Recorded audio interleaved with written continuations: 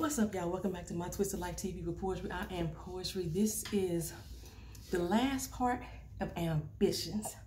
Lord Jesus, why y'all didn't say nothing?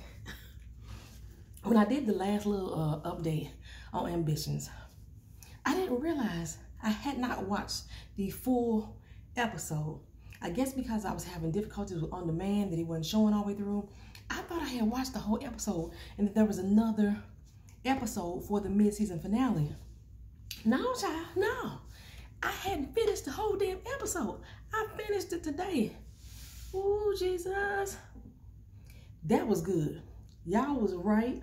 The mid-season finale was off the chain. I wasn't ready. I wasn't ready. I wasn't ready. Y'all give me a second. I got pain going through my chest right now.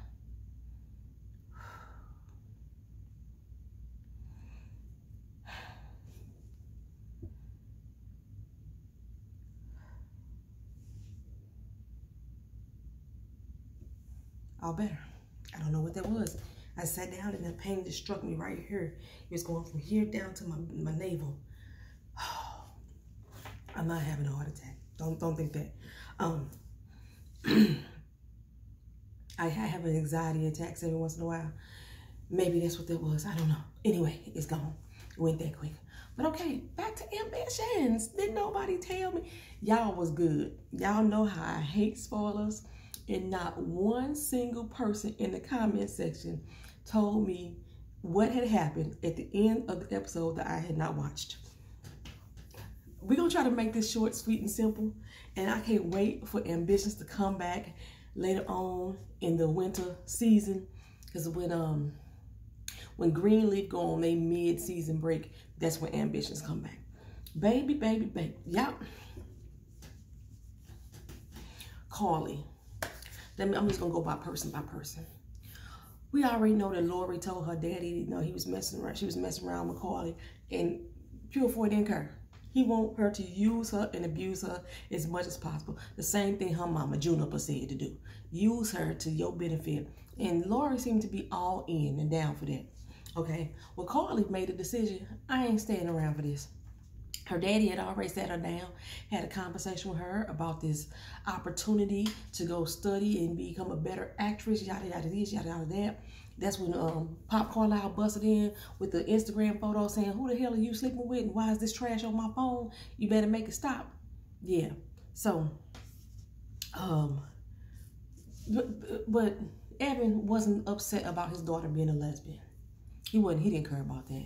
What he cared about was Pop Carlisle getting loud up in his damn house. Remember that? Okay, well, Carly said, you know what? I called the man up about the doggone uh, program and see if he had an opening next year. He told me he had a cancellation this year, so guess what? I'm moving. I'm up out this piece. Deuces, two sheets to the wind. I'm gone, right? And be like, no, no, wait a minute. I'm not ready. I'm not ready. I don't want my only daughter to leave. I'm, give me time to prepare. I want you to take this opportunity, but no, I love you too much. Wait, wait. and um, Carly said, you know what, Daddy, I understand you. I love you, but I need to get away from my damn mama. Mm-mm, I can't do her no more. Not at all. And this is my opportunity to be free from her and her conniving ass ways. And Stephanie come in like, you know what? On one hand, I want you to go. One hand, I will say stay. But what you're not gonna do is be up and underneath Lori Purefoy. And so Carly went ahead and, and, exposed the fact that my mama paid off some escorts to seduce the woman. Lori was not in any way seduced, honey, baby child. She walked right on into there with willing and open legs. She was not seduced. Okay. Um, but two, that's what she think. So uh no, Stephanie, make no apologies. I don't give a damn. You're not gonna be with a Purefoy you know, acting like that's your girlfriend. No, that ain't. A, don't even use the word friend in relation to pure Purefoy's up in this joint. That's how Stephanie feeling. Carly was like, "This is exactly why I'm leaving, Daddy. I love you, but I got to go." He's like, "Okay, well, if you're gonna leave, please let me know everything that's going on first before you leave. Let I need to know what's going on on with you." She's like, "Cool, I'm gonna do that." Okay, Pop call Carlisle bossed up this episode, y'all. Y'all didn't tell me. I was excited to see this. He's sitting up on Greg Peters' office like, what? Sitting on swole, you know, like, hey, check this out. You my bitch now. Your daddy done gave me permission. He, he first told me that you was hands off, but now he said that is no more. You ain't got to worry about your cousin coming after you, because if you sleep with my damn daughter again, it's going to be me on your ass. I'm going to put two shots to the dome. You know what I'm saying? Greg was like, who you think you talk to? I'm talking to you, boy. You better sit your little pink ass. He told me to sit his pink ass down. I like to fell out. I was like, oh, no, did he say that? You know, but Greg, Greg wasn't, Greg ain't no punk. You know what I'm saying? He came back and Pop Carlisle like, you don't know who you fucking with. But Pop said, you ain't ready for me, son. You ain't, you ain't about that life. Everything you do, when you breathe, when you wipe your ass, I gotta approve it first. You better believe that. Try me. Try me. Okay? I was like, ooh, ooh, Pop Carlisle. yes, popcorn Carlisle. Okay, so Daphne hit uh, Evan up, or somebody hit Evan up to say, come through. My husband gonna be out of town. Meet me at the regular spot. All right, Evan feeling himself like, oh, let me go get a little bit of a little dab dab, you know what I'm saying? He come in, he feeling some kind of way. Because, you know, his daddy just busted him out about the fact he know he got another kid out there. He didn't specifically say he knew Joaquin was the kid, but he knew it was another kid out there. So, you know, he was like, all right, daddy, checkmate on that ass. Okay, cool. So he feeling some kind of way, you know, dealing with Carly's situation, Stephanie crazy ass, all that there. Evan like, you know what, we gonna switch roles up tonight. He walk in, taking off his clothes, folding up his nice jacket, all nice and neat. Like, we, we gonna switch up, you know what I'm saying? You gonna be the uh, submissive, I'm gonna be the dominant night, boo. He gets up in the bed, Daphne dead as a doorknob, baby. Just dead, dead, handcuffed to the bed, a boa constricted around her neck. Daphne is dead. Who the fuck took her out? Who is her husband? I want to know who's. I want to know who her husband was. Is it her husband retaliating? That's what I want to know, y'all. What y'all think? You think it's Daphne's husband, or who else know? The only other person that knew that Daphne was the mistress was Kent, right? And Amara. That's all they really knew. Hmm. Let's supposed speaking of Amara. Oh, this scene upsets me, y'all. This upsets me. Amara feeling some kind of way. You know, she, Titus to find out the truth about her and Damien. And, um, but she need a husband back. She want a husband back. She was just down there with Herschel. Herschel killed himself in front of her. Well, not in front of her, but while she was down there trying to interview him, he killed himself in the other room. And it all had to do with Greg Peters. You know, Amara went by Greg Peters. Hey, look here. Herschel killed himself. I know you had something to do with it. You was on the phone with him right before he pulled a, uh, the, the, shot. And Greg like, girl, go ahead with that BS. You can't, you ain't got nothing on me. Ain't got nothing. Ain't got nothing on me. You know what I'm saying? But Amara told him, look here, you better stay away from Rondell. Stay away from Rondell. I'm going to get that ass. Trust and believe that, sir. I'm going to be on you. On you like white on rice. And he was like, look, unless you're going to charge me something, you might need to bounce. She cute ass. I don't get up out of here. She said, okay. You think I'm playing with me? You think I'm playing? You think I'm playing? All right. I got you, fool. Well, Stephanie, uh, Amara needed some consoling. So she went to the one person she know. My baby daddy, my husband, Titus. I, you know, Titus in his feelings. Like, what the fuck are you doing here? When I said it's over, it's over. I meant that shit. He said, he said, I don't know why you don't, don't see it, but since it's not clear, I'm going to tell you. If this ain't got shit to do with danger, what the fuck are you up in here for? So she tells him about Herschel. He a man. He a compassionate man. He like, damn, that's fucked up. I'm sorry to hear that. That's got to be rough. Then he had to think to himself, like, okay, I want to be there for. I'm gonna tell as much as I want to be there for you. I can't right now. Sorry about that, babe. Mm. So she leaves out. And she's before she goes, she said, Hey, well, at least tell me where you stand so if I have any problems with Deja, you know, I can come to you. You know, he said, I'm at the Duckworth two, two, two, you know. Uh so she leaves, broken hearted, broken hearted. I was broken hearted. I was broken hearted. Like, damn, Titus. Damn, I understand, but damn, you know, I'm feeling. Okay, so Titus. Titus, Titus, Titus Hughes. He still finally even had his settlement meeting with Stephanie. Well, Stephanie had already found out from um, Damien that Amara and Titus no more and that Damien is staying at the Duckworth. So of course Stephanie wanna have a meeting at the Duckworth restaurant. Mm -hmm. So they down there and having a conversation about the settlement. Titus really ain't paying attention. His mind is elsewhere. His mind is really on the Amara at this point. But she like, um, tell me all your secrets. You know, I done kept your secrets before. What secrets she done kept, Titus? Now I need to know what secrets she done kept. He's like, okay, yeah, you have. You, you kept my secrets before. What secrets have you kept? She said, well, let's go talk somewhere more in private. She caressing his hand and everything like that. Titus agreed. I was like, fool, what the fuck you doing? I got mad, like instantly, what you mean? Okay, so later on in the episode, Amara got her little heels on, her little button down shirt with her little cha-cha divas, you know, somewhat showing, at least it was showing some um, neckage. It wasn't really showing no cleavage, but it was showing the part in between. Yeah, it was showing that part, right? So she like, I'm finna go get my man back. Knock on the door, two, two, two. Who answers? Stephanie. Titus motherfucking Hughes. First of all, you gonna let the side piece answer the fucking door? But she answered the door in her robe and her little white bra. Hey girl. Stephanie like, what the, oh, like, what the fuck are you doing here? Oh, this is just a little payback, bitch. Just a little payback. Payback? Now, Titus, you ain't in the background here. Stephanie called, tell your wife this is payback. That this was all a setup. This was all a plan. Amara is dumbfounded dumbfounded. Oh, like you got me fucked up. And Stephanie like, no, you got me fucked up. She opened the door and there is Titus standing half naked. And he might have been all the way naked. They didn't show the lower half. Titus motherfucker. I want a divorce. I want a divorce. It's over. It's over between us. I was allowing you to be with Amara, but Stephanie, that's too much for me. That's too much. I can't be that girl. I can't. It's it, it, no.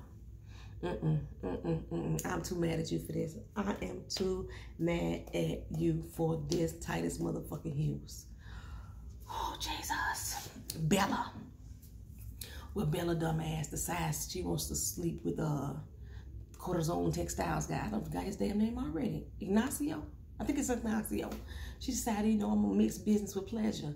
Well, we've learned last episode that he was setting some shit up. He had made a phone call to somebody and said, I didn't think this was gonna be easy as I thought as it, as it, as it turned out to be. You know, we got this in the bag. I was like, what the fuck is he doing? What the fuck is he uh somebody had put in the comment section that they thought that Evan had set him up to like, you know, throw her off her game. She really wasn't part of the deal. Okay. This scene almost made me think that it might have been Evan too. Because she decided to sleep with him she had already set up the little baby cam in her bed in, in Joaquin's bedroom, but he gonna be down for the night. She let him know all this information. You know, if you wasn't trying to sleep with him, he probably could have took advantage of your ass because you just told him that your son is gonna be knocked out for the rest of the night. Well, they in the room smashing and dashing and all that other jazz. Somebody creep in the crib. They unlock the door, come on in, and snatch Joaquin. Walk out the door right at the height of her orgasm. Click. She don't hear nothing. Baby Joaquin has gone. There can't be nobody but Evan. It can't be nobody but Evan. Who else knew that that child was yours besides your daddy and the mama? That's that's Evan. That's Evan teaching Bella a lesson. You know, my, my daddy said for me to take of all my kids. I'm taking my son. That's what I'm thinking. Y'all let me know if y'all feel that same way too. Now, speaking of daddy, I had to do this part last. Pop's about to go out there and propose to Luelle. He got on his sleek suit in his hunter green with his old nasty brim going on, looking all dapper, Dan up in the spot. As as Rondell said, damn daddy, damn daddy, that's how I was feeling too. Okay, he all happy.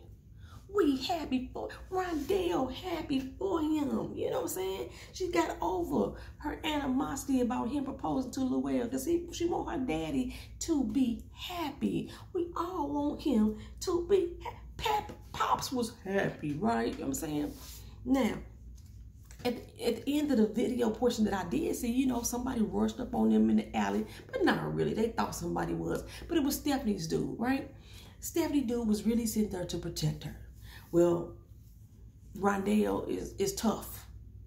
She didn't want nobody protecting her, especially from Stephanie. She ain't scared of Greg Peters. He's just selling wolf tickets, yada, yada, this, yada, yada, that. So she sent the bodyguards away. Pops is concerned that she sent the bodyguards away. There must have been a reason for Stephanie to hire them in the first place, girl. Ain't nobody playing with you, right? But Rondell feel like, I got this. Where is Kent? Kent ain't been around in a minute.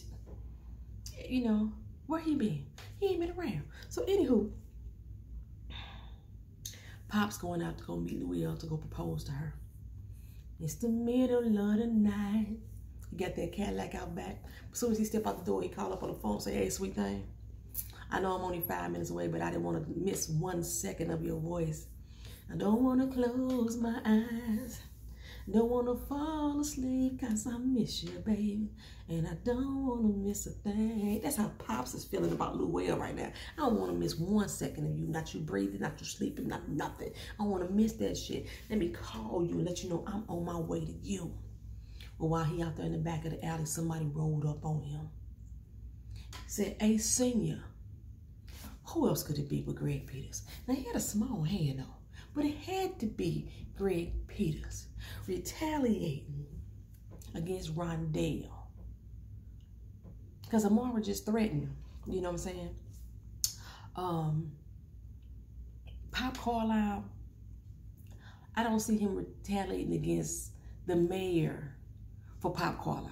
I would see him, um, you know what I'm saying? I don't, yeah, I don't, I don't think that he retaliated against the mayor's family because of what Pop Carlisle did. I don't see that. I see him more as retaliating against Rondell and getting back at Pop because the whole English Rose project is, is falling. It's failed. You know what I'm saying? So, um, and it's all because of Rondell. So he walked up and said, Senior. And he shot Senior down. Cold motherfucking blood. Cold motherfucking Rondell heard a gunshot. She inside screaming. We next see Senior laying on the ground with the person standing above him and, and he tell him, you kiss my black ass. I don't think he used the word black, but I was saying that to make it seem more intense. He kissed my entirety of my black ass. That's what Pops wanted to say. And then he shot again. Baby Pop's dead. Who killed Senior? Why would you kill Senior? I wasn't ready. I was not ready. Y'all are fucking fabulous. My viewers on this channel, y'all are awesome because y'all did not spoil that shit for me. OMG. I cannot wait for it to come back. I it, oh, it's gonna be hell come tell the captain. You know, Evan in there with definitely dead body. He got his henchmen coming in to figure out what's going on. He being attacked on all fronts. They're getting Evan. They gotta be Greg Peters. It gotta be. Mmm. Child. Y'all let me know what y'all think about this part of the, the recap that I didn't catch the first damn time. Oh, Lord. All right, y'all. Talk to y'all later. Peace.